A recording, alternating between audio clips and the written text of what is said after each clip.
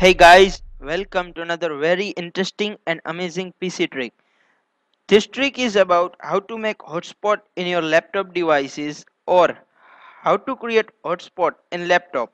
In order to do that, you need to download software called Virtual Router Plus. This software is very small and free or open source so you can download this software from virtualrouterplus.com. I have put the link in the description. So let's get started. Oh, one more thing. If you are using Windows 8 or 8.1, make sure that your PC is enabled the .NET Framework 3.5 because without it the virtual router does not work. Windows 8 or 8.1 coming with disabled .NET Framework, you need to just enable it. In order to enable this software or .NET Framework, Please check out my other video on enabling .NET Framework on Windows 8 or 8.1. Now, let's coming back to the hotspot. I uh, I'm going to open virtual router. Okay.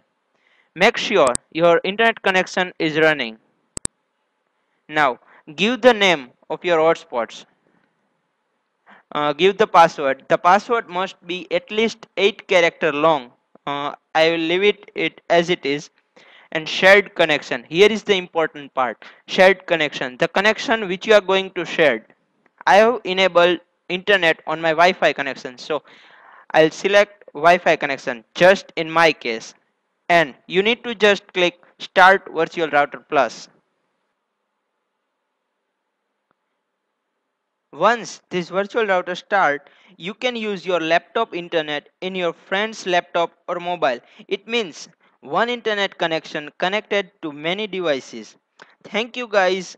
If you really found this video helpful, then please subscribe to my channel. It is totally free. Like this video and give your precious comment to improve our work.